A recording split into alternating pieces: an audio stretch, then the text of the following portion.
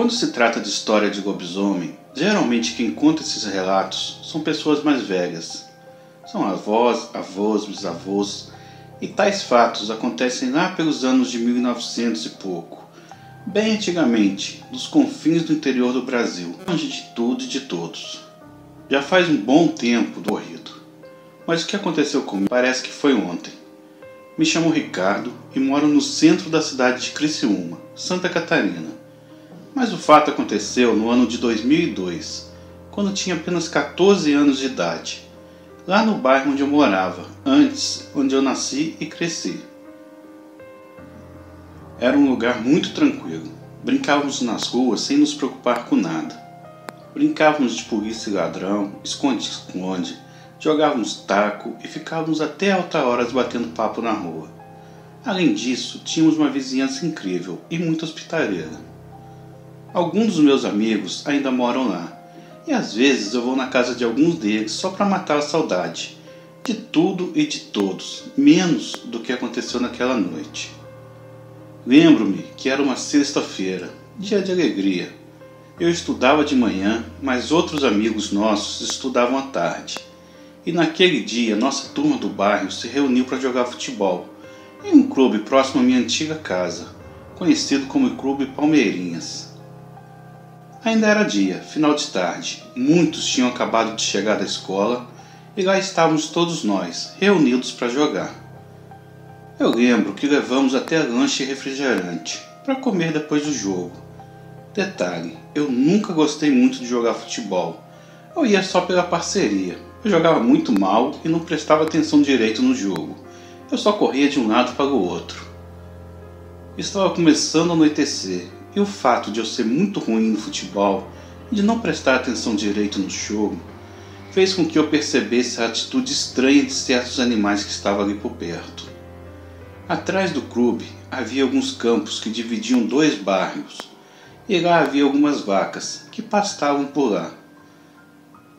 Mas notei que elas começaram a pular e atravessar a cerca, correndo pelas ruas como se estivessem fugindo de algo. Os cães das casas de perto latiam enlouquecidos. Eu notei que um dos meus amigos estava parado, olhando em direção ao campo, e ele apontou e disse: O que é aquela coisa lá? Como eu nem estava prestando atenção no jogo, eu fui até ele para ver o que estava acontecendo. Ele notou algo e falou que viu um negócio preto que cruzou no meio do milharal. Mas logo ele disse: ah, deve ser uma vaca, e eu concordei dizendo que realmente deveria ser uma vaca. Os refletores se acenderam, continuamos a jogar mais um pouco e logo paramos para fazer o nosso lanche. Após o lanche, começou outro jogo, só que esse era dos adultos. O pessoal do bairro utilizava muito esse clube para fazer festas e lazer. Ficamos por ali, vendo o jogo e rindo, conversando e comendo o restante do lanche. A hora passou voando e quando fomos nos dar conta, já era tarde. Um dos nossos amigos morava no bairro que ficava no outro lado dos campos, de onde saíram as vacas loucas pulando a cerca. Eu sempre cruzava aquele lugar, tanto eu quanto este amigo.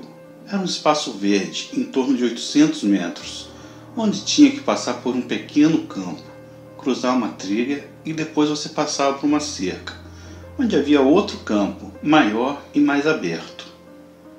Aqui na nossa cidade existem muitos locais desse tipo nos bairros que não são da região do centro. Durante o dia eu adorava passar por lá. Eu sentia como se fosse uma pracinha do interior, só que dentro da cidade. Era um bosque com alguns arvoredos e pinheiros era daqueles arbustos com emoras vermelhas que costumava dar muito nos campos. Tinha putangueira, uma zaputicabeira e alguns pés de laranja. Este lugar funcionava como um ótimo atalho, ao invés de você ter que contornar o bairro todo para poder chegar no outro bairro onde o Vitor morava. Mas dessa vez tinha um problema. Já era noite. Eu lembro muito bem disso, porque dava para ver tudo. E o luar clareava muito bem nem precisaria de lanterna ou algo do tipo. A coisa que eu mais temia nesse lugar era um touro, que às vezes ficava solto por ali, mas ele nunca fazia nada, pastava tranquilamente.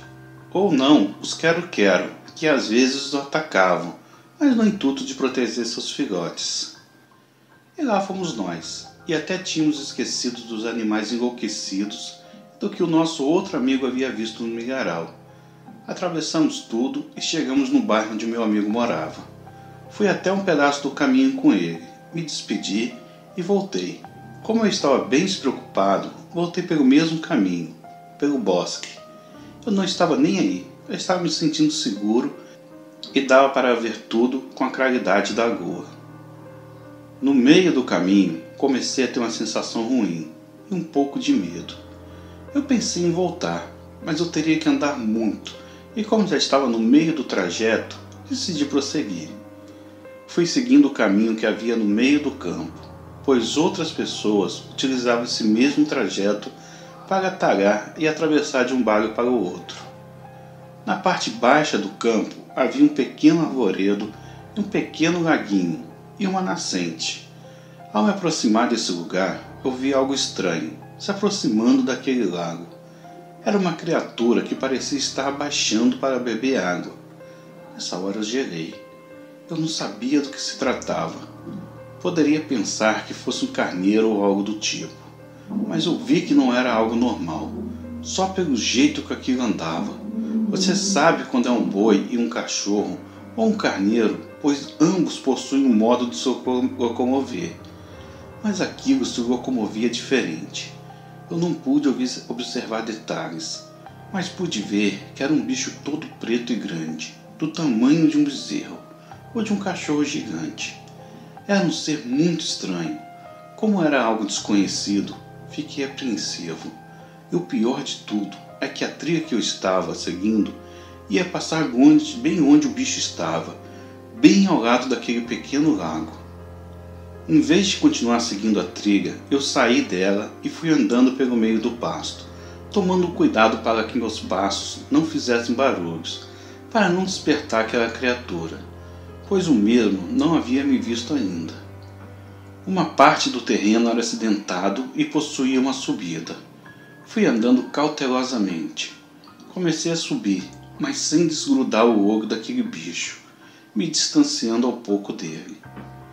Eu já estava a uns 50 metros daquele ser, e de repente aquele bicho vira sua cabeça em minha direção, me olhando com aqueles olhos que brilhavam no meio da escuridão. Como eu estava um pouco longe, parece que ouvi um breve rosnado. Eu congelei.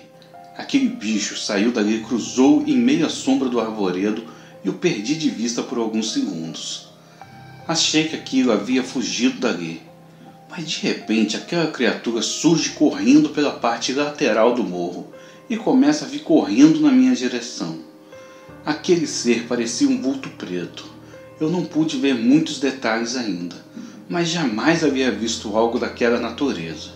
Eu corri, subi o restante do morro desesperado, e pelo barulho que o bicho fazia, ele já me alcançava, até que cheguei onde tinha uma laranjeira em meio a algumas pedras. Na tentativa desesperada de rodear a árvore e despistar a fera, contornei a laranjeira em meio àquelas pedras e tentei dar meia volta, mas quando ia fazer isso, já pensando no pior, aquele bicho horroroso estava parado, sem se mover. A sua parte traseira era mais levantada, como todo animal predador faz quando vai atacar. Aquele bicho ficou me encarando com aqueles olhos que pareciam brasas, mas ele não se aproximava de mim. Ficou parado, rosnando e grunhindo. Era um ser muito horroroso e tinha um cheiro muito ruim de camisa velha. Aquela coisa ficou estática, me olhando com aqueles olhos amarelados e eu congelado com o coração quase saindo pela boca. Quando eu fazia algum movimento, o bicho se armava e rosnava novamente. Era muito grande, era do tamanho de um bezerro. Tinha pelos grossos, negros e alguns pelos meio acinzentados Estava ouriçado. Ele tinha orelhas grandes e suas pernas traseiras eram maiores que as dianteiras. Ele estava a alguns metros de mim e aquele bicho começou a andar e a rodear onde eu estava, mas parecia evitar chegar perto. E de repente ele dá as costas e sai correndo, indo para outra direção, lá para o final do loteamento onde tem uma mata fechada e depois dois bairros. Eu fiquei ali, imóvel, por alguns minutos, com o coração saindo pela boca e me sentindo aos poucos aliviado, até criar coragem para sair dali. Atravessei aquele campo correndo o mais rápido que pude, mas antes de passar para o miragal, me esqueci da pequena cerca de arame farpado e caí um belo de tombo, onde me cortei e rasguei toda a minha camiseta. Já meio tonto e caído de costas no chão, olhei para o lado e tive a impressão de ver uma criatura bípede, com os olhos brilhando em paralelo à cerca. Quando eu estava me levantando, parece que ouvi novamente uma bufada e um grunhido. Comecei a correr novamente, atravessando todo aquele migaral. Na hora que eu corria, ouvi o barulho de algo que estava vindo lá do mineral, que parecia estar quebrando os pés de milho. Não sei se era coisa da minha cabeça e meio ao barulho do meu coração e da respiração ofegante que eu só corria. Eu não olhei nem para os lados nem para trás. Eu só enxergava o final daquela trilha entre mineral e ainda ouvindo o barulho dos pés de milho sendo quebrado. Ao chegar onde começava a rua do bairro, me senti mais aliviado. Olhei para trás, mas não havia nada. Mas mesmo assim, continuei correndo com a camisa rasgada e sangrando, devido aos cortes da cerca de arame farpado. Quando passei ao lado do clube, ele já estava tudo escuro não havia mais ninguém lá, e ao me aproximar da minha casa, eu fui diminuindo os passos. Até avistei alguns amigos sentados na rua conversando. Eu tentei falar, mas eu nem conseguia. Eu estava sem fôlego. Eu não sabia o que dizer, eu não falei nada de lobisomem ou qualquer outro bicho. E o meu cérebro bugou. Na hora tentei falar algo, mas eu não conseguia nem raciocinar. Era uma mistura de desespero, medo, cansaço e alívio. Eu só pedia água, pois estava morto de sede. Nós estávamos na frente da casa de uma amiga que me convidou para entrar em sua casa. Fomos até a cozinha e eu tomei quase a jarra inteira de água. Esperei retomar o fogo e me acalmar um pouco. Foi onde minha amiga perguntou o que havia acontecido. E eu só dizia: Não sei, eu não sei te dizer. Eu levei um corridão de um cachorro lá no campo quando fui lavar o Victor. Notando o meu total desespero, ela fez uma cara desconfiada e respondeu: Cachorro grande esse, hein? Um dia desses, o nosso vizinho cruzou com algo no mesmo lugar onde você passou, e não foi nada de cachorro que ele viu. O que ele viu foi outra coisa, e era um negócio bem feio. Eu só não vou falar o que é para não ficarem pensando que eu sou doida. Eu nem sabia o que pensar ou falar mas mesmo assim perguntei o que o tal vizinho tinha visto. Ela disse: Ah, não sei, pergunta para ele. Nessa hora eu me senti obrigado a contar o que aconteceu, sem muitos detalhes. Falei que vi um bicho muito feio, próximo a uma laranjeira solitária, lá no meio do campo. Ela logo disse que o que eu vi era um lobisomem, e prometemos guardar segredo de tudo. Como era uma garota mais madura, enquanto a maioria eram apenas uns moleques. Quando cheguei em casa todo machucado, com a camiseta rasgada, nem falei o que era que era, inventei uma história. Mas o que aconteceu comigo ficou na minha cabeça. Eu nem dormi naquela noite. Passei alguns dias pensando naquilo e não conseguia dormir. Depois disso, cruzei novamente aqueles campos para ir à casa do Victor e, ao passar pela laranjeira, pude observar um detalhe. No tronco da árvore havia um crucifixo talhado na madeira. Hoje eu penso várias coisas no que se refere ao local. Será que aquele local benzido? Por que será que aquele monstro não se aproximava de mim quando eu estava naquela árvore? Por que ela tinha uma cruz marcada? Será que é por causa disso? Muitos anos se passaram depois desse ocorrido, e uma parte daquele bosque foi loteado. Estão construindo muitas casas por ali. Um dia eu fui à casa de uns amigos e saímos pelas ruas batendo um papo. Há muitas casas novas, muitas delas são lindas. A nascente e o arvoredo estão lá. Foi respeitada a distância entre as casas e a nascente com água potável. O que mais me impressionou foi a da laranjeira, que continua lá. A parte onde ela está foi loteada e construiu uma casa, sem precisar retirar a árvore. A propriedade é enorme e o dono fez questão de preservar o quintal. Mas algumas coisas e a laranjeira estão bem lá, feliz, firme e forte. Esse foi o meu relato. Espero que tenham gostado. Uma boa noite a todos.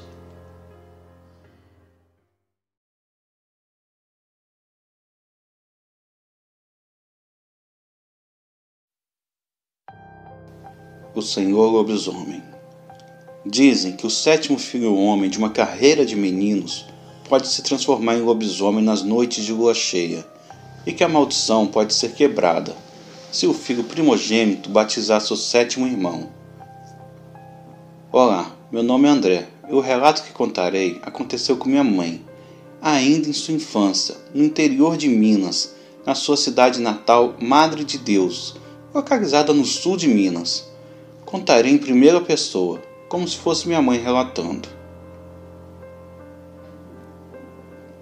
Quando eu era criança, em minha cidade, em um bairro afastado, havia um senhor maltrapilho, sujo, barbudo e solitário, que vivia isolado num casebre, afastado de tudo e de todos. Era um senhor muito estranho. Ninguém o via conversando com ninguém. E não se sabia nada sobre sua família. Ele sempre carregava um saco nas costas. Ninguém sabia o conteúdo do saco, mas a qualquer lugar que ele estivesse, ele estava carregando esse saco. O casebre onde ele morava era feito de latas de óleo. Antigamente, o óleo de cozinha era em lata e não em recipiente prático como é atualmente. O terreno era sujo, com muito mato, lixo e entulhos por toda parte. Esse senhor tinha os cotovelos e os joelhos sujos e enrolados com faixas e ataduras sujas e manchadas de secreção. Sua pele era marcada por feridas e cicatrizes. Os mais antigos da cidade diziam que eram provenientes da transformação em lobisomem e que essas partes viravam suas patas quando transformado, mas que aquele senhor nunca atacara pessoas, mas sim animais por isso, as pessoas daquela cidade não se preocupavam com sua presença. Ninguém sabia como o velho se alimentava e como se mantinha, já que nunca era visto em mercados ou vendas, apenas perambulando e resmungando coisas sem nexo. Ele caminhava tranquilamente pela cidade. Quando uma boa alma aventurava-se ajudá-lo com comida entre outras coisas, deixavam no quintal e a ajuda permanecia ali, intacta. Ele não mexia em nada. De vez em quando o velho desaparecia da cidade e quando se esqueciam dele, ele reaparecia. Enfim, ninguém sabia quem ele era, de onde era, quantos anos tinha. Algumas pessoas se aventuravam a dizer que aquele senhor era o sétimo filho de um casal e que em sua primeira transformação havia fugido para que não pudesse ferir seus familiares. Ele já era habitante dali desde a minha infância e desde que me lembro dele, a imagem que tenho na lembrança já é de um senhor bem velho e maltrapilho. Com o desenvolvimento e crescimento das cidades do interior, ele sumiu de lá, mas dizem que lá para o centro do centro-oeste do estado, ele ainda é visto com aquela mesma aparência de senhor maltrapilho, sujo e esquisito. Olá, boa noite. Me chamo Vanessa. Eu sou muito fã do canal eu gostaria de contar o meu relato. A mãe d'água queria me levar. Eu sou de São Luís do Maranhão. Quando isso aconteceu, eu tinha por volta dos meus 11 ou 12 anos. Eu costumava ter longos cabelos bonitos e sedosos. Uma pele bonita, era uma criança bem aventureira e curiosa. Certa vez, eu e minha família fomos visitar minha avó, que mora em Catu, uma cidade bem conhecida pelos seus rios e cachoeiras. Perto da casa de vovó havia uma fonte. Lá as pessoas costumavam tomar banho e lavar suas roupas. Eu adorava ir lá. Porém, vovó nunca me deixava ir só. Ela costumava dizer que até lugares bonitos escondem perigos. Eu não ligava muito, pois era curiosa e adorava a água. No terceiro dia que estávamos lá, minha tia resolveu ir para o rio. Eu logo fiquei muito animado e feliz. Foi quando vovó me disse: Filha, peça licença antes de entrar. Eu não entendi e não liguei muito. Então fomos eu e ela, minha prima pequena e mais algumas crianças, que já eram meus amigos. Umas quatro crianças. Andamos muito para chegar, mas valeu a pena. O rio era lindo. Eu logo que cheguei me senti atraída e não via a hora de me jogar, e nem lembrava do que vovó disse. Porém, eu não sabia nadar, então eu só ficava no raso, brincando com as crianças. Uma das garotas, vendo minha hesitação em sair da margem, me chamou e disse: Olha, aqui tem um tronco, você pode se apoiar nele. Vem, não é fundo, pode confiar. Pois bem, assim fui eu. E realmente não era fundo, eu me segurava nesse tronco. A água batia abaixo dos meus, meus ombros.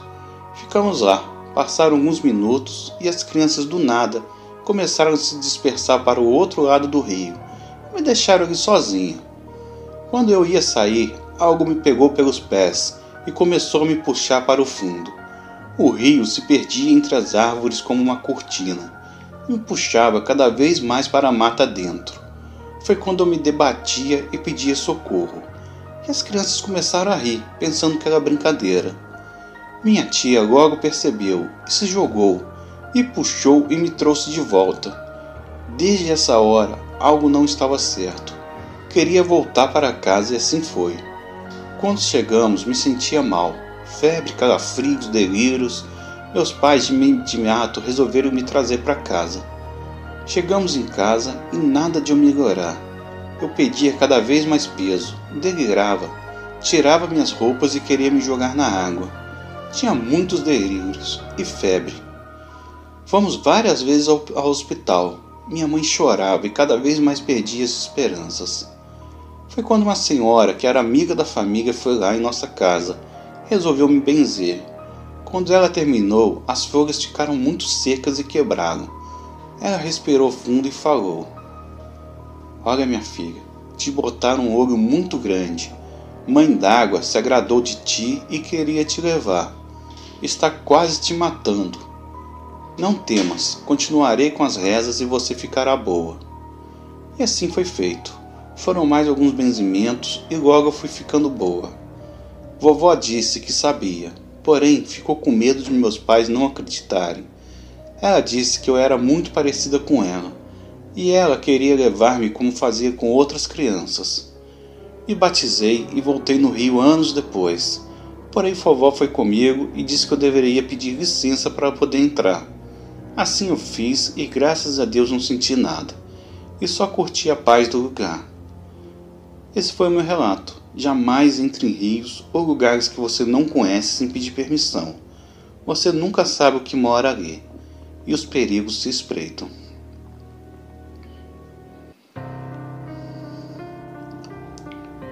O lobisomem no campo de aviação. Boa noite, meu nome é Danilo, tenho 30 anos e sou da cidade de Peçanha, Minas Gerais. Atualmente moro em Brasília. O que vou relatar aconteceu comigo em 2008, quando ainda morava em minha cidade natal. Eu era noivo de uma garota que morava perto de um parque ecológico da minha cidade. Já fazia dois anos que nós éramos noivos. Em uma noite de quaresma, na Semana Santa, eu estava vindo embora para casa e sempre tinha uma cachorra que me acompanhava até em casa. Essa cachorra era de minha ex-sogra e tinha o nome de Mel. A cachorra era uma companhia sempre bem-vinda comigo. Essa noite eu tinha saído da casa e era por volta de meia-noite. Minha ex-sogra não queria que eu fosse embora, pois já estava muito tarde. Mas como era jovem, nem fiz conta e saí dizendo: Que nada, sogra, não tem nada nessa terra que me faça ter medo. Que arrependimento de dizer essas palavras. Até em minha casa tinha que passar em duas ruas que dividiam uma mata, que tem em minha cidade. Naquela época não havia iluminação, apenas algumas luzes em volta e pouco para cima dessa rua, no topo da serra, havia um campo de aviação, onde as pessoas sempre falaram que tinham avistado algumas assombrações. Mas na época eu achava graça, pois não acreditava nessas coisas. Eu estava vindo brincando com a cachorra, pois sempre amei cães, e de repente escutei um ruivo meio estranho. Imediatamente encostei no barranco olhando para o lado da mata, mas não via nada. Em seguida, veio uma voz em meu ouvido, dizendo: Olha para cima. Não pensei duas vezes e olhei para o rumo do campo de aviação. E lá estava, uma criatura do tamanho de um bezerro, preto, Voltei com as costas no barro e passei. Não era nada demais. Como eu era curioso, voltei a ver a criatura novamente. Mas, para o meu desespero, ela estava se levantando e ficando só nas duas patas traseiras, soltando um uivo que até hoje tenho medo de imaginar. Minhas pernas estavam travadas com aquele uivo da criatura. Comecei a rezar para Nossa Senhora me ajudar naquele momento. Minhas pernas foram voltando ao normal e saí correndo para a rua, até chegar onde havia iluminação. Ali que tive coragem de andar mais devagar. De repente, ouço alguém chamar pelo meu nome, dizendo: Danilo, espera aí. Nesse momento, eu já estava começando a correr novamente e ouvi que era um colega meu. Ele logo me disse: Danilo, você também ouviu um uivo?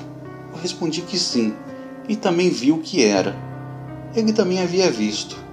Saímos do local correndo em direção às nossas casas. Quando eu cheguei em casa, já estava com a chave em mãos para abrir a porta. E de repente, a porta se abre e era minha eterna avó abrindo a porta.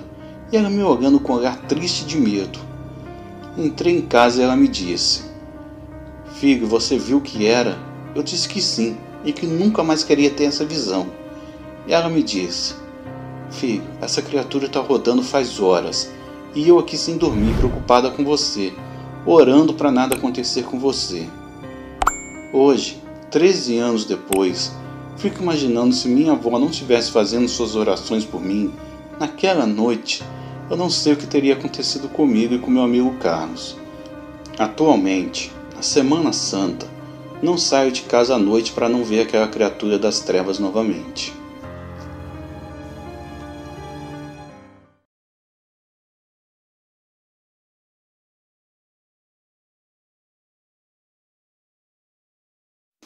O padre lobisomem e a mula sem cabeça. Olá, meu nome é Pedro, eu sou interior de Minas. Esse relato que contarei é do meu avô, que hoje já é falecido. Na época do acontecido, meu avô morava na roça, junto com minha avó. Naquela época, a roça era só matagal. Ele me disse que na época do fato, eles tinham um filho recém-nascido, que era o primeiro filho deles. Tudo começou quando meu avô resolveu formar uma família e ele e minha avó foram juntos morar na roça, para poder dar uma vida melhor aos futuros filhos, e na época a casa era feita de pau a pique. Estava indo tudo normal na roça. Meus avós sempre iam aos domingos à missa, já que eles moravam somente a 8 quilômetros da cidade. Na fazenda, meus avós estavam felizes, recém-casados e com um bebê recém-nascido já que na época meu avô engravidou minha avó e ambos os pais os obrigaram a casar. Na época eles tinham 16 anos. A vida seguia normalmente. Eles já estavam na fazenda há três meses. Meu avô tirava leite de manhã, coletava os ovos, tratava das criações e minha avó zelava pelo jardim e cuidava da casa. Até que um domingo de missa, uma mulher muito bonita, de vestido vermelho, começou a frequentar a igreja. As pessoas sabiam que era uma novata na igreja, pois todo mundo se conhecia. A cidade era muito pequena. Só aquela mulher, que era muito bonita e tinha algo de muito especial nela. Meu avô contava que durante a missa o padre não parava de olhar para ela enquanto pregava. E a danada fez questão de sentar na frente. Ela deve ter se sentido atraída pelo padre, e também era muito bonito e jovem. A missa acabou e as pessoas foram se retirando e pedindo bênção ao padre, e aquela mulher ficou por último. Depois disso, só teve fofoca sobre a mulher na cidade.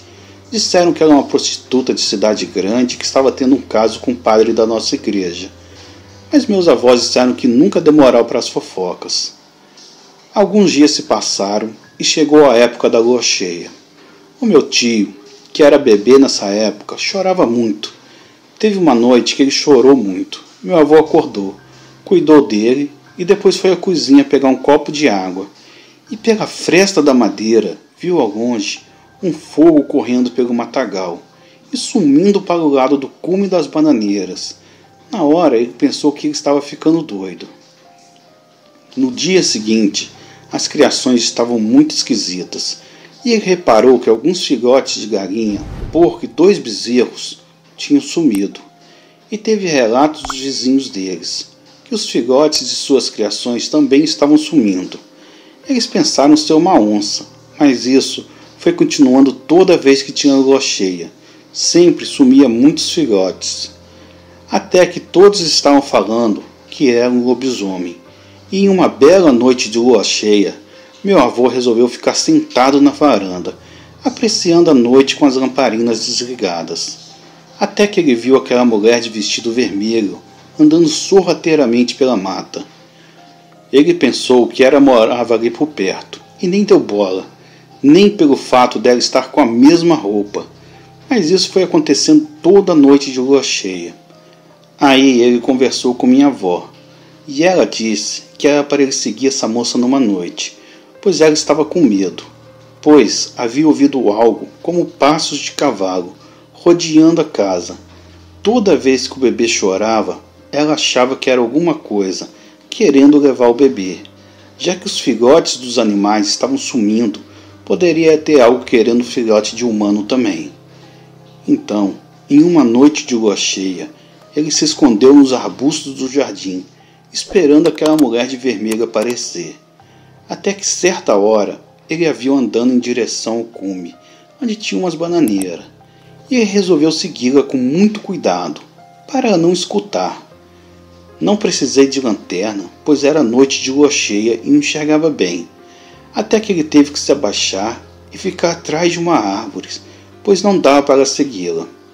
Ela estava caminhando por uma clareira, e de longe observou no meio das bananeiras e ela estava desenterrando alguma coisa. Era um facão. Aquela mulher pegou seu cabelo, ergueu, segurou e cortou-lhe a sua própria cabeça. Colocou a cabeça no buraco do facão e a enterrou. Com isso, o corpo dela se transformou em um corpo de um cavalo enorme avermelhado. O corpo dela entrou em chamas e pelas chamas virou um cavalo. Mas no lugar que ela parecia a cabeça, era só fogo. Ela relinchava com um barulho terrível e começou a galopar pela mata do outro lado do mato. Nesse momento, meu avô já estava morrendo de medo daquela coisa vir na sua direção e o encontrá-lo. Mas a curiosidade foi forte e meu avô foi nas bananeiras, pegou o facão e desenterrou a cabeça da mulher de vermelho e levou para casa. Ele contou toda essa história para sua esposa e ela quis lhe matar por ter trazido a cabeça para casa.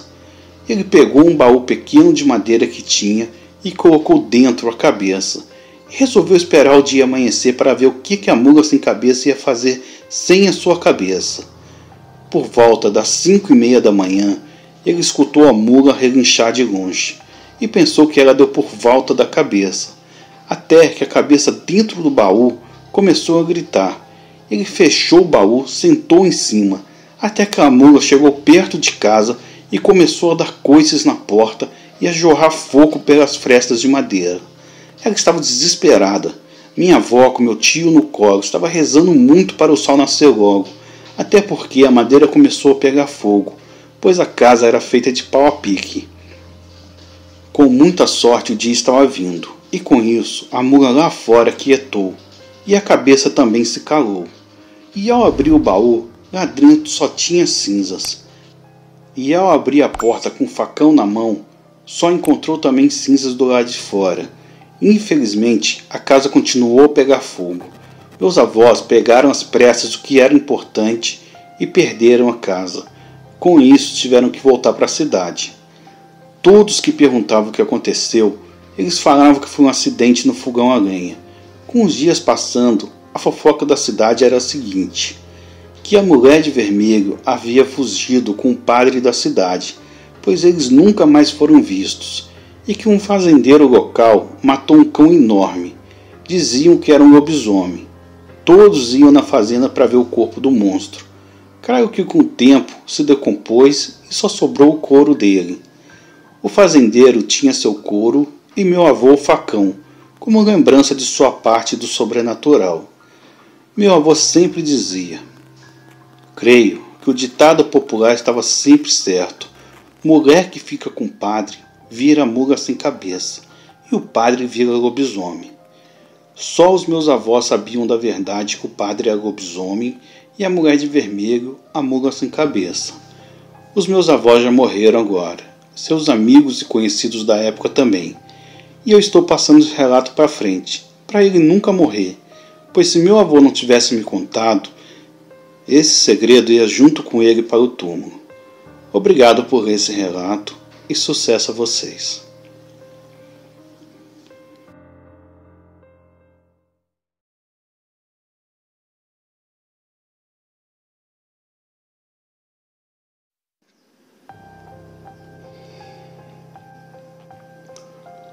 O lobisomem que foi caçado.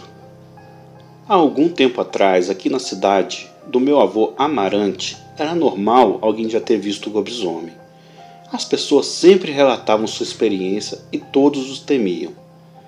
Felizmente, atualmente, esse animal é raro, mas ainda existe por aqui. O relato que vou narrar é uma história contada pelo meu avô, homem sério que nunca mentiu. Quando era moço, meu avô e os amigos dele costumavam brincar numa picada, como é chamada encruzilhada, lá em São Gonçalo. Até que um dia ele e os amigos dele viram um animal enorme correndo no meio do mato. Foi um espanto só, todos correndo desesperados para suas casas. No outro dia, eles se encontraram de dia na mesma encruzilhada para discutir sobre o assunto.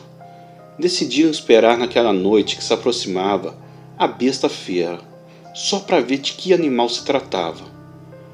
Quando entardecera, todos se encontraram perto do mato cada um subiu em uma árvore para se proteger do animal. Todos armados com facões, ficaram à espera. Depois de alguns minutos, ouviram um uivo amedrontador. Alguns pensaram até em descer e correr para casa, mas era tarde. A fera estava abaixo deles, com suas enormes orelhas batendo uma na outra, fazia um barulho horrendo. Quando foi embora, todos desceram e sequer se olharam pelo tamanho do medo que sentiam. Meu avô chegou em casa e contou para o pai dele o que tinha visto, e foi surpreendido quando lhe falaram que se tratava de um lobisomem, e não de um enorme cão como ele achava que era. No outro dia, todos os amigos se encontraram novamente para discutir sobre o assunto, e por surpresa, todos falaram ao mesmo tempo que era um lobisomem. Ficaram se olhando espantados sob tamanha sintonia. Como meu avô era o mais velho do grupo, com 17 anos, resolvera de que eles deveriam armar uma armadilha para aprisionar a besta. Pensaram primeiro em cavar um buraco no chão, mas como muita gente passava por ali de dia, era perigoso alguém cair primeiro que a fera. Então decidiram pegar com uma corrente. Foram até um vizinho e pediram a corrente que era usada para puxar o trator quando estava atolado. Era muito forte e pesada e também muito resistente. Uns 50 metros antes de terminar o mato, tinha uma árvore muito velha e grossa.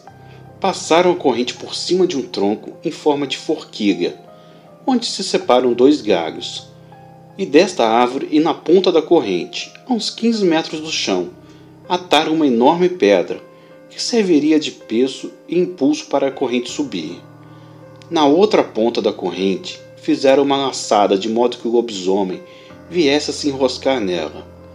A armadilha funcionaria da seguinte forma: quando a besta viesse a correr, ela enfiaria a cabeça dentro da laçada e antes de que ele pudesse tirar a corrente do pescoço, meu avô lançaria a pedra que estava pendurada em outra árvore, rumo ao chão, fazendo a laçada fechar e a corrente subir, que supostamente manteria a fera suspensa no ar, pelo, mesmo, pelo menos tempo suficiente para todos correrem para suas casas. Depois da armadilha pronta, eles avisaram todos os vizinhos do que eles iriam fazer naquela noite, para que todos trancassem as portas e não deixassem as crianças brincarem na rua de noite, pois se o lobisomem se soltasse, ele estaria com certeza muito irritado pela brincadeira de mau gosto que haviam feito com ele. Naquela noite, todos preparados com suas armas, foram esperar a fera na encruzilhada. Quando estavam quase a desistir da brincadeira, a besta Vera veio a correr feito louco, exatamente como eles planejaram. Ela se enroscou na corrente, Mas meu avô demorou para derrubar a pedra de cima da árvore, pois era muito pesada. Então, quando o lobisomem estava quase a escapar, ele conseguiu derrubar a enorme pedra, fazendo com que o lobisomem ficasse pendurado pelo pescoço. O plano era ficar lá até ele virar humano de novo, mas o animal dava grunhidos horripilantes que gelavam a alma. Então, pulando de árvore em árvore, todos fugiram do local muito amedrontados. No outro dia pela manhã, foram ver quem estava pendurado na corrente, mas não acharam nada. Quando voltaram para a aldeia, viram que o morador mais velho do local estava com o pescoço todo machucado e com marcas de corrente. Então descobriram que ele era o lobisomem. Com todo o alvoroço, aquele ser humano de dia e fera de noite foi embora do local e nunca mais apareceu, nem de dia e muito menos de noite.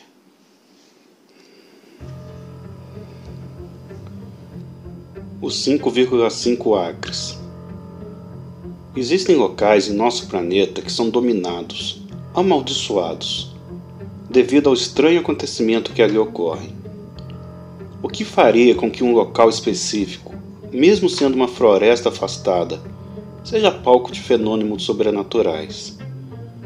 Teriam acontecido nesses locais, em épocas mais antigas, algum fato trágico que provocasse tais acontecimentos? Ou seria outro tipo de energia, ao qual faz com que criaturas além da imaginação estejam presentes? O relato a seguir é sobre um desses locais. Eu cresci como uma criadora de gado, em uma típica família de criadores de gado. Os 5.5 acres são parte de uma grande propriedade, que se forma em 95 acres, e que pertence à minha família, onde nós tínhamos os nossos rebanhos. Essa história é sobre duas experiências, uma minha e uma do meu enteado. Vou chamá-lo de Jota. Era o começo de maio de 1990.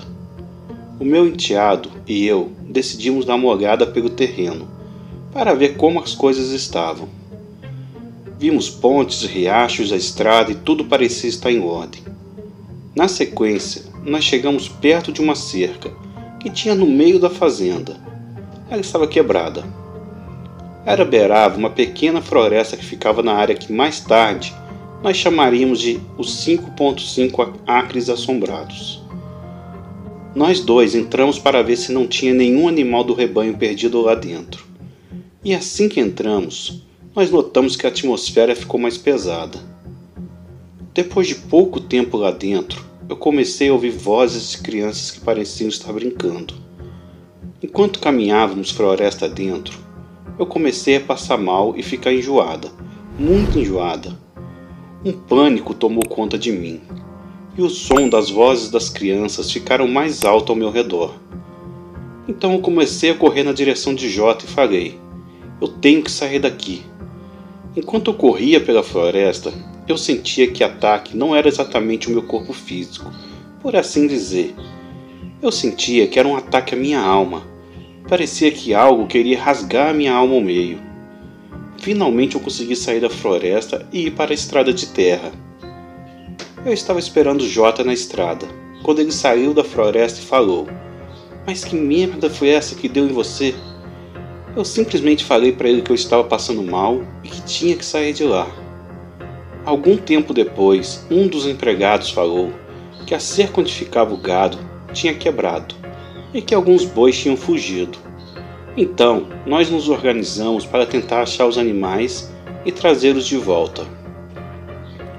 O meu marido, um empregado e o Jota foram para a região onde estava os 5.5 acres. Nós tínhamos marcado de nos encontrarmos mais tarde em um certo ponto.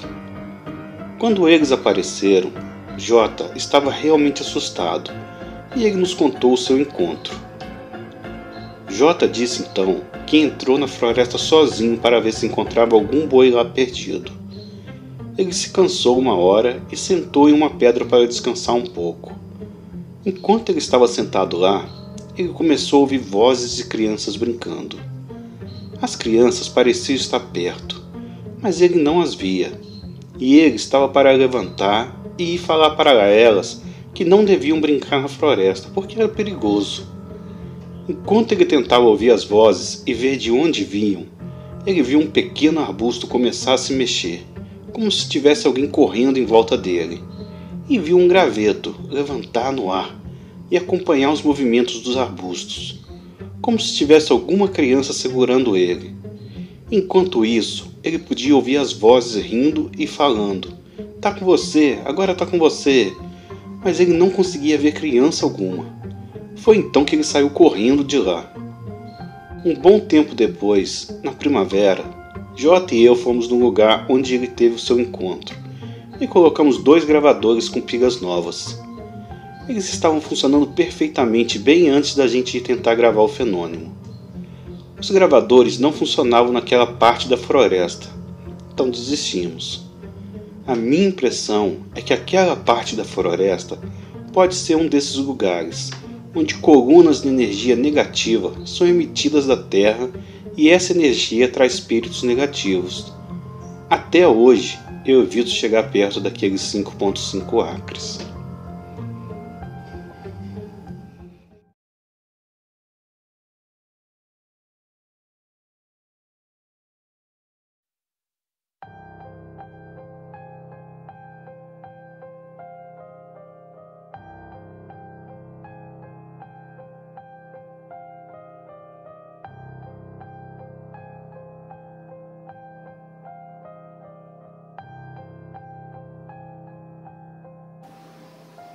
Boa noite a todos. Me chamo Rafael, sou historiador e adoro tudo sobre lendas e o sobrenatural. Embora nunca pensei em contar publicamente os fatos que aconteceram comigo, hoje eu despertei para isso. Eu gostaria de compartilhar com vocês para que mais pessoas possam enxergar e perceber o que nos ronda. Esse fato aconteceu quando eu tinha 18 anos. Não tinha esses filmes de crepúsculos e afins pois era em 2005 e poucos filmes direcionavam de um adolescente romantizada essa coisa de vampiro. Minha família sempre frequentou a igreja, então eu também não fugiria à regra, pois ainda era pequeno e precisava acompanhar minha mãe, junto dos meus irmãos. Então, de certa forma, sempre fui muito crente sobre histórias de coisas sobrenaturais, sendo de caráter e forma própria de acreditar. Certo dia apareceu na igreja um moço que aparentava ter a minha idade, ou um pouco mais de 35 anos. O nome dele era Márcio. Ele era uma pessoa de boa aparência, mas era um pouco estranho. E apesar da pouca idade, eu sempre fui muito observador e curioso. Então fizemos amizade e ele come começou a frequentar nossa casa. Pois lá cantávamos hinos e orávamos com o restante da mocidade mas todos percebiam que ele era diferente, pois às vezes, quando todos estavam rindo, ele estava sério e pensativo. Aquilo me incomodava muito. Eu ficava receoso com ele. Depois, descobrimos que ele havia tido envolvimento com drogas e tinha tido esquizofrenia. Mas isso no final do relato eu explico. Um dia, ele foi lá em casa e eu morava em uma chácara da empresa em que meu pai trabalhava. Essa chácara era assustadora. Por mais que fosse no meio urbano, era um pedaço de terra antiga, cheio de histórias de mulher de branco e de um cão preto que aparecia para os antigos inquilinos. E até achávamos pedaços de correntes e moedas antigas, debaixo do assoalho que era alto, pois a casa era construída em um declive. Nessa noite, ele dormiu no chão do quarto, onde eu e meu irmão dormíamos. Logo, meu irmão dormiu e eu, como estava um pouco preocupado com ele ali, pois quem vê cara não vê coração, percebi então que ele estava inquieto e achei estranho. Perguntei se estava tudo bem e a princípio ele disse que sim. Mas conforme os minutos se passaram, eu vi que ele precisava de alguém, que ele pudesse conversar. Então eu sentei na cama e perguntei se ele gostaria de conversar um pouco, se necessitava desabafar sobre algo. Porque na verdade eu sempre gostei de ouvir muito mais do que falar. Então, para minha surpresa, ele também sentou e falou para mim: Olha, meu irmão, sinceramente preciso te contar minha história, pois eu carrego comigo essa angústia e gostaria que você entendesse a minha situação. Lógico que eu tinha percebido que ele usava drogas, pois eu percebi que os dedos dele eram amarelados e as pontas queimadas, pois morava em um bairro onde convivia com esse mal, que está no mundo todo. Inclusive, eu já perdi vários colegas para essas drogas. Então, eu achei que ouviria sobre isso. Mas não foi isso que eu escutei, para minha surpresa. Ele começou falando sobre a vida boa que levava em São Paulo quando pequeno, pois seu padrasto era policial federal antigo e tinha uma boa educação. Mas com a morte do padrasto, o Márcio chegou na adolescência um pouco rebelde e quis conhecer mais as coisas da vida. Com uma certa idade, foi trabalhar de garçom em um restaurante do lado de uma universidade. Foi aí que o relato assombroso começou. Em um dia de trabalho, ele conheceu uma moça, a Sara. Ela era linda, de cabelos bem pretos e pele bem branca, muito simpática e cativante. Qualidades que fizeram Márcio acionar na hora, e começou ali um namoro que se arrastou durante meses, e levava uma vida bem feliz ao lado dela. Mas um dia, um encontro entre Márcio e um amigo de infância faria o mundo dele virar sobre a sua cabeça. Pois quando se encontraram, Márcio estava acompanhado de Sara, que ao se deparar com seu amigo, tanto ela como o amigo ficaram muito desconfortáveis mas a reação do amigo foi de medo e pânico. A conversa foi rápida, o suficiente para Márcio ficar desconfiado que algo errado estava acontecendo ali, pois na cabeça dele o primeiro pensamento foi que os dois tivessem tido um caso no passado, ou mesmo no presente, o que o fez pensar a noite inteira no caso e aquilo tirou sua paz. No dia seguinte, ele perguntou a ela se ela conhecia seu amigo. Ela disse que há muito tempo os dois haviam trabalhado juntos, mas que já nem lembrava mais. Só que ainda era pouco para ele. Então, ele conseguiu o endereço do amigo com um parente próximo, lá da sua casa, e foi saber por que daquela reação dele. E no momento que ele perguntou sobre o ocorrido no dia, seu amigo com desespero disse: Cara, deixa essa mulher agora, Marcinho. Ela é uma bruxa ou uma vampira, sei lá. Deixa ela, por favor. E é claro que na hora ele não quis rir, pois conhecia seu amigo de infância, mas achou que era só uma brincadeira ou algo do tipo. Ele se manteve firme e sério e ouviu o rapaz prosseguir. Certa vez, quando a gente trabalhava junto, fizemos amizade e aos poucos compartilhamos segredos. E um dia ela me chamou muito nervosa e perguntou se ela podia me contar um segredo. Falei que sim, lógico que podia. E ela quase relutante me disse: João, eu sou uma vampira. Você acredita? Na hora minha reação foi rir sem parar, pois eu achei que era uma brincadeira. Mas depois de me controlar, eu vi que os seus olhos lacrimejaram. Era um sentimento de angústia e aflição. Então eu pedi para ver suas presas, ou para ela se transformar para mim mas ela se recusou e disse que eu entraria em choque. Eu ficaria traumatizado, além de não querer mais a sua amizade, pois, como outras pessoas, foi desse jeito. Então, eu achei que era uma grande de uma mentira. Passei o dia todo zombando dela e pedia para ela se transformar, quase ao ponto de irritá-la. Até que um dia ela me olhou nos olhos e disse: Ah, é? Então tá valendo uma caixa de cerveja. Eu topei na hora, mas eu achava que era uma brincadeira. Combinamos o dia e a hora no cemitério da cidade, à meia-noite. Eu achava que ela ia me pregar uma peça com talvez aqueles dentes de plástico ou outra coisa engraçada. Mas quando eu cheguei lá e vi ela na porta do cemitério, sem bolsa, com calça jeans e uma blusa simples, eu fiquei surpreso. Então fomos para o meio do cemitério debaixo de um poste de luz e parei na frente dela. Ela abaixou seu queixo, botou as mãos para trás e falou algo que eu não entendi, tipo uma língua diferente. E quando levantou a cabeça, O seu rosto estava desfigurado, suas presas estavam enormes e suas mãos enrugadas. Suas unhas eram enormes. Na mesma hora soltei um berro de desespero e saí correndo atordoado. Pulei uma mureta baixa, já caindo desmaiado do outro lado. No final, ela ainda me socorreu já destransformada.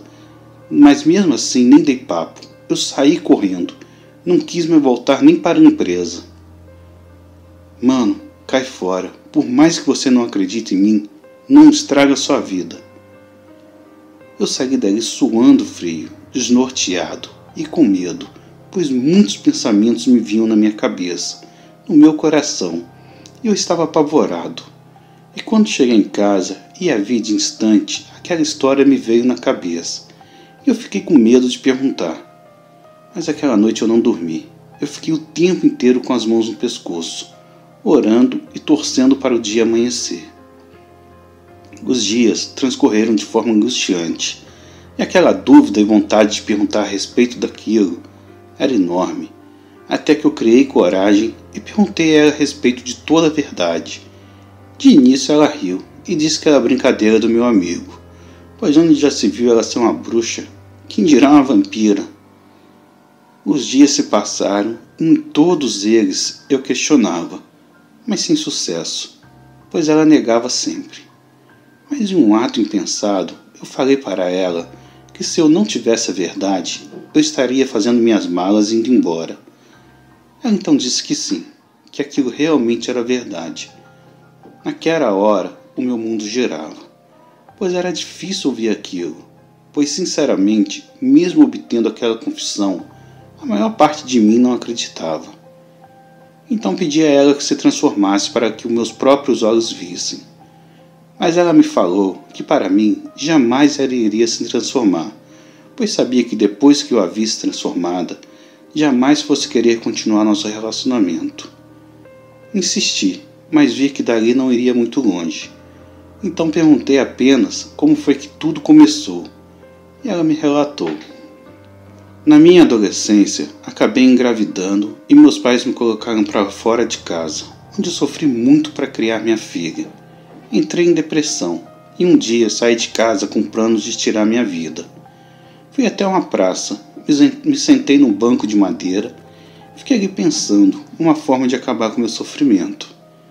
Mas de repente, parado ali na minha frente, estava um homem muito alto e bem vestido e perguntou se podia sentar ao meu lado.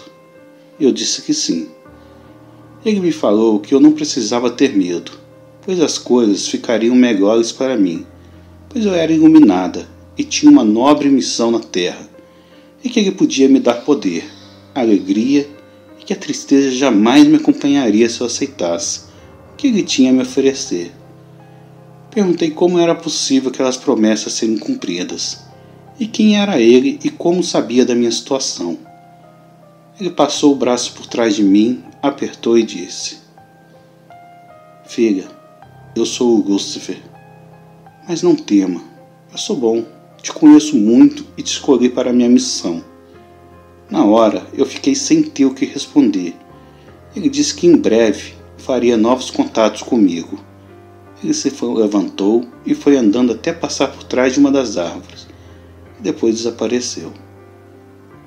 Fiquei intrigada, mas muito curiosa, pois aquilo me chamou a atenção de tal forma toda aquela tristeza e angústia já não mais existiam.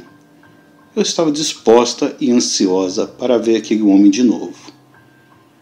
Em uma certa noite no meu quarto, eu estava dormindo e quando eu acordei bem na minha frente estava aquele mesmo homem.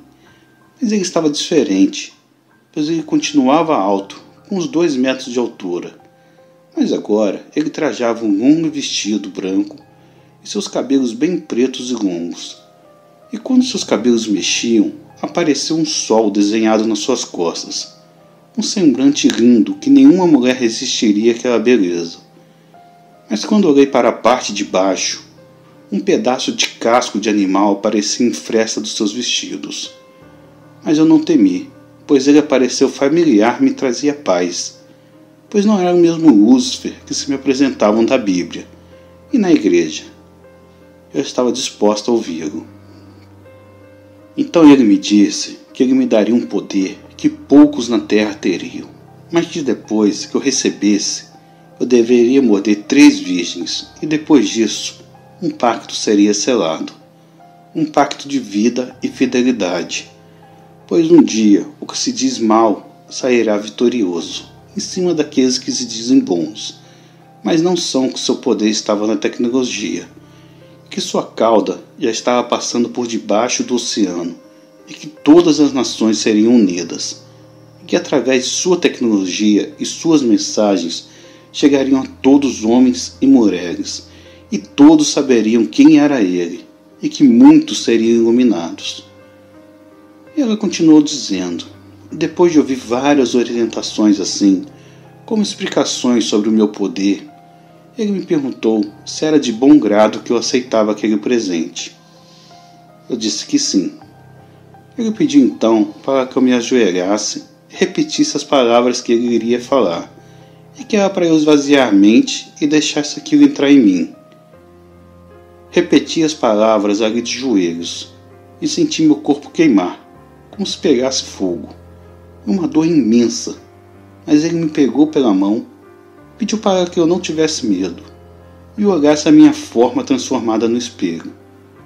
Quando eu vi, eu desmaiei, só acordando pela manhã. Durante o dia, escondida no banheiro, me transformava e aos poucos fui me acostumando. Então, concluiu o pacto que tinha feito, mordendo as três virgens ou os três virgens, não sei como foi. Quando Márcio viu isso, perguntou para ela se ela não conseguiria sair daquela situação. Ela disse que não podia mais, pois se ela quisesse sair, não só ela, mas sua filha e todos os próximos a ela pagariam que a situação dela seria mil vezes pior de que quando ela fez o pacto pois, além de infeliz, ela não poderia morrer, pois agora não só a alma, mas o seu corpo também era dele. Então, ele pediu para ela se transformar, mas ela negou novamente. Disse que, para seu bem, era melhor que ele esquecesse aquilo. Então ele perguntou se para a mãe dele ela se transformaria. Ela pensou e disse que talvez sim, mas ele devia garantir que não terminaria como ela após a transformação. Ele prometeu que sim, e uns dias após essa conversa, eles foram visitar a mãe dele. E aí o Márcio explicou para sua mãe, a qual eu conheci toda a situação, e pediu para ela ver e acabar de uma vez por todas com aquela dúvida daquela expectativa. Sua mãe aceitou e eles sentaram-se frente a frente. O Márcio, ao lado de Sara, cobriu o rosto com uma almofada e prometeu não olhar. Sara abaixou a cabeça, falou umas palavras estranhas em outra língua e, quando levantou a cabeça e olhou para a mãe dele, aquela senhora, assim como seu amigo, soltou um berro e desmaiou. O Márcio foi socorrer a mãe e ela foi para o banheiro e logo voltou para ajudar o Márcio com a mãe dele. Quando aquela senhora voltou, assim o medo tomava conta dela desesperadamente pediu a ele que terminasse aquele relacionamento, pois aquilo que ela viu não podia ser coisa boa e que certamente ele correria perigo. Os dias se passaram e um sentimento de medo e rejeição tomava conta dele, fazendo com que ele decidisse sair de casa e terminar aquele relacionamento. E como ela havia dito, foi também a sua desgraça, pois depois de terminar com ela, ele caiu em uma profunda depressão e também nas drogas, indo morar um bom tempo na rua, adquirindo também sinais de esquizofrenia. Conheci sua mãe quando ela veio morar para cá. Ela estava com câncer no cérebro, mas ainda estava lúcida. Ela descreveu essa história da mesma forma.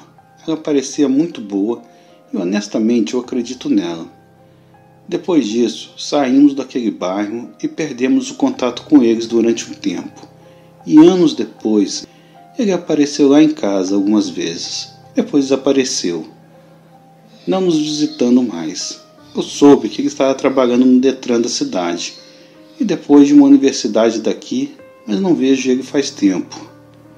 Ele me disse que contou para um professor da universidade que ele trabalhava. Eu que o mesmo disse acreditar naquilo, pois um dia uma aluna disse pertencer a uma ordem que fazia adorações à natureza e convidou ele para ver o e que chegando lá elas estavam nuas e tendo contato sexual com elas. A maior parte de sua energia vital foi tirada e que depois disso ele não tinha mais força no corpo. E algo muito sério também me chamou a atenção. Quando uma pessoa da igreja me relatou um episódio muito sinistro que aconteceu na sua casa com uma moça que estava lá, e que a moça baixou a cabeça, paralisada e gritava: Ele vai me pegar, repetindo-se diversas vezes. E quando ouvir um barulho no banheiro, como se jogasse uma bola de basquete no box do banheiro, ela pediu para seu filho, que era meu amigo, ver. E chegando lá, não tinha nada. E quando ele voltou para a sala, sua mãe estava em choque e que a moça estava com o rosto desfigurado, duas presas enormes, assim como suas unhas haviam crescido. E foi um tempo de luto espiritual, até ela voltar ao normal. O mais interessante é que depois disso, o filho dessa mulher foi assassinado, pois entrou para o mundo das drogas e foi uma morte horrenda e cruel, levando a família a um trauma muito triste de se ver. Os seus pais se separaram e eu me pergunto se isso não foi talvez alguma consequência. Obrigado a todos por ouvirem meu relato.